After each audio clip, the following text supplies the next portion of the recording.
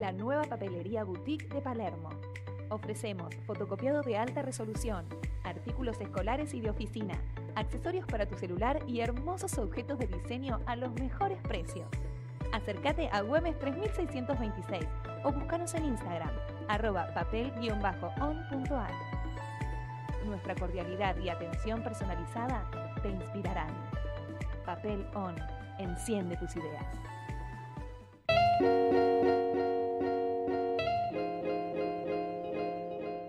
Regresamos a Buenos Aires, Cosmopolita, ya son las 13 y 37 minutos de la tarde acá en la ciudad autónoma de Buenos Aires. Les recuerdo las formas de comunicarse con nosotros.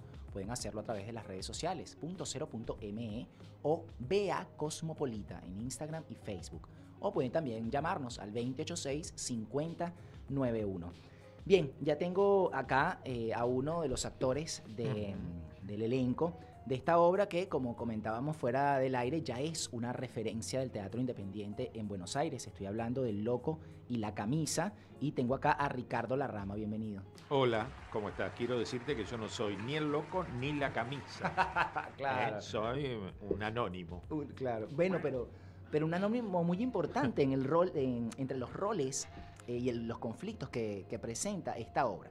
Todas las familias tienen secreto, Ricardo. Exacto. Estaremos de acuerdo en eso. Pero a lo mejor, a lo mejor no todas tienen un loco que quiera decirlos. Por suerte. Por suerte, si no, sería invivible este mundo. Si hubiera tanto loco que quiere decir la verdad. O sea, es necesario los secretos. Eh, y mantenerlos ocultos.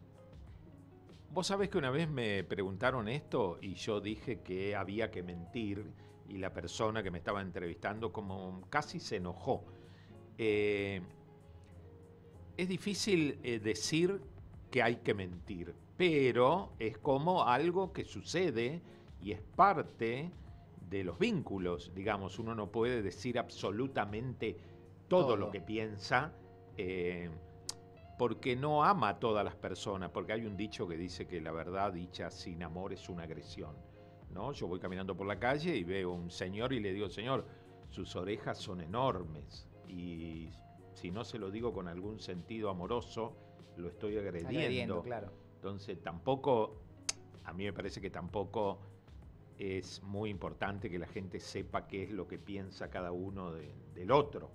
En este caso, bueno, en la obra, eh, este chico mm, habla sobre los conflictos que subyacen en esta familia, entonces tiene como un sentido el decir la verdad, ¿no? Una necesidad. como una necesidad. Vos sabés que yo creo que, bueno, esta obra hace tanto tiempo que está en cartel y una vez vino un señor con la idea de contactarnos para, para hacer una película con esta historia. y él dijo algo interesante, dijo, mirá, yo creo que esta obra tiene éxito porque tiene un gran equilibrio entre las historias de cada uno de los personajes. Porque se llama el loco y la camisa, pero se podría llamar la madre X. Eh, La hija- la hija que quiere casarse, no sé. Claro. ¿Entendés? Y dice, y lo mismo tendría sentido eh, ese nombre, porque tiene como un equilibrio entre las historias, ¿no? Eh, Y otro, perdón, Mm, sí. eh, otro equilibrio, digamos, fundamental en, en el texto y en el montaje es eh, el drama y la comedia. mm, Eh, ¿Qué pasa con este loco que escribió Nelson Valente? Que la gente se empatiza tanto con este muchacho. claro. Que además ha, sostenido, más allá de, ya me Sí. comentaba fuera del aire, que de hecho el único actor, el único Sí. personaje que ha sido interpretado por distintos actores durante estas Exacto. 11 temporadas. Ahora arrancamos la 11, sí. Onceava temporada eh, ha sido justamente el Mm. personaje del, del El loco. personaje del loco. ¿Qué tiene este, ese loco escrito por Nelson Valente que empatiza tanto con la gente?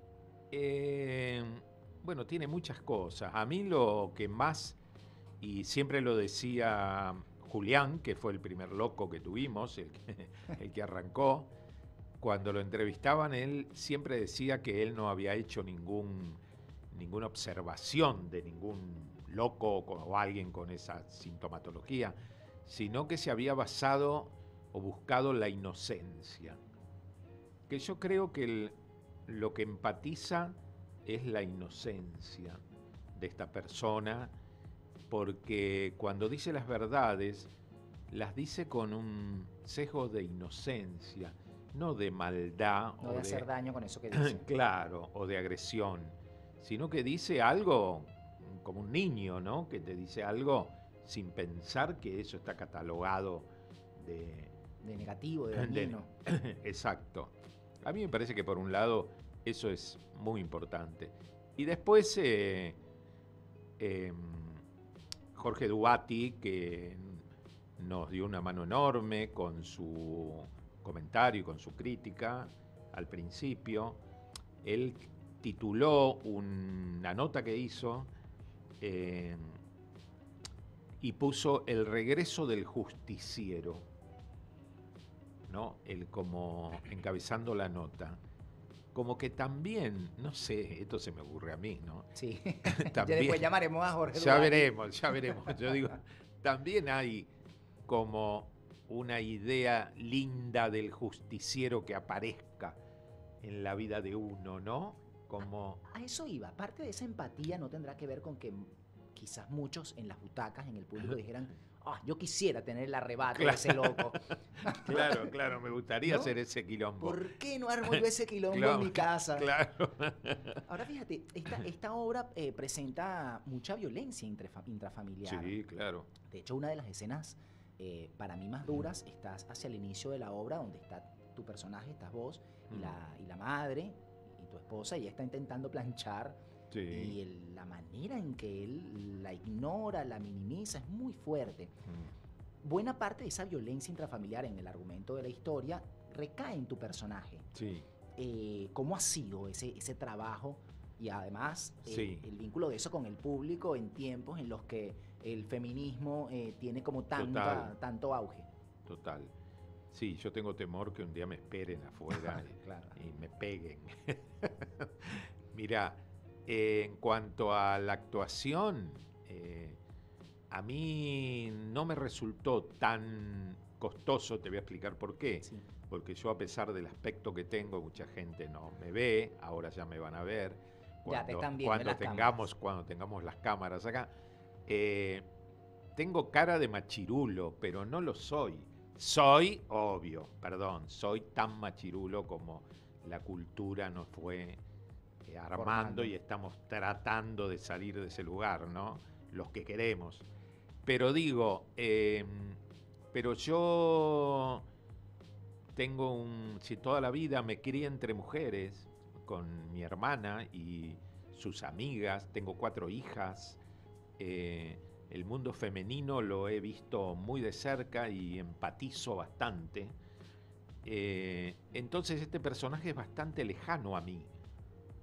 Jamás yo actuaría de esa manera en la vida real, digamos. Nunca. Entonces vos sabés que en la actuación cuando uno está lejos a nivel personal de eso que tiene que hacer, se facilita un poco.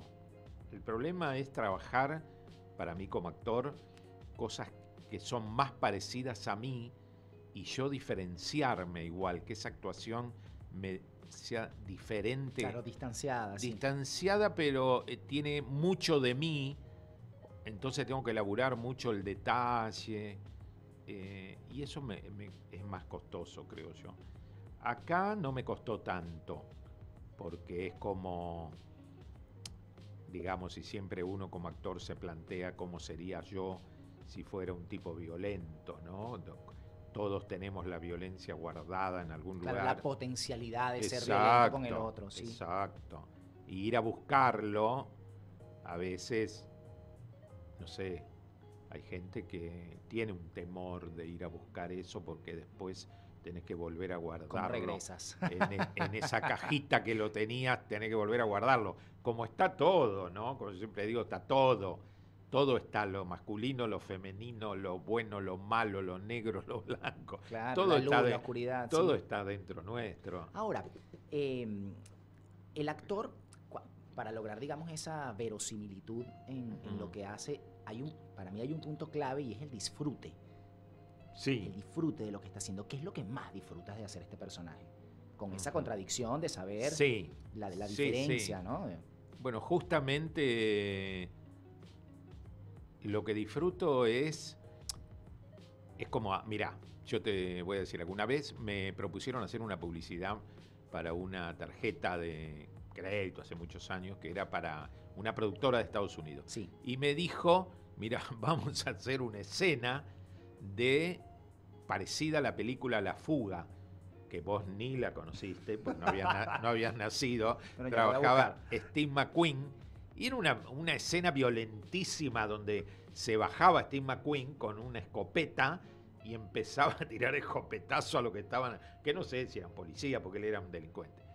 Y a mí me encantó. Dije, uy, buení, me encanta bajarme con la escopeta. Claro. Después que lo dije, decía, uy, y yo lo hubiera disfrutado. Al final no se hizo, justamente porque era demasiado Era muy violento. violento. La cambiaron, la gente de la tarjeta. De la marca, sí. De la marca. Eh, y yo creo que un poco lo que disfruto es eso, que nos reímos, yo con, con la actriz que hace de mi mujer, después que termina la función y todo, nos reímos de la situación, muchas veces que cosas que dijimos, cómo sucedió, y eso que ella es la víctima, ¿no? Pero- Claro. pero eso se disfruta, ¿no? Hacer algo, me encantaría hacer, no sé, una cosa loca, no sé, de astronauta. Superhéroe. Superhéroe, Un claro. X-Men. Claro.